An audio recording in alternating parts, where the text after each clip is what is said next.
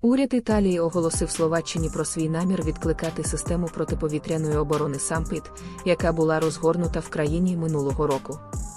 Італія встановила систему протиповітряної оборони в Словаччині на рік. Тепер її заберуть, оскільки вона потрібна в іншому місці. Фіцо висловив занепокоєння щодо того, як тепер Словаччина буде захищати свої атомні електростанції та інші стратегічні об'єкти.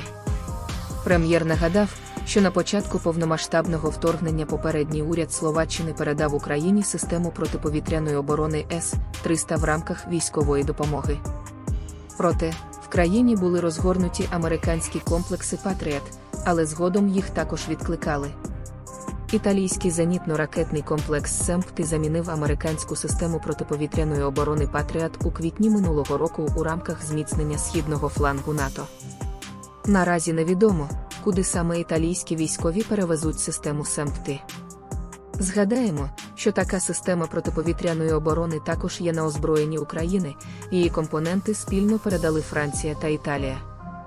У лютому цього року Італія замовила чотири додаткові сучасні зенітно-ракетні комплекси СЕМПТИ «Енджі» для своїх сухопутних військ у рамках посилення протиракетної оборони.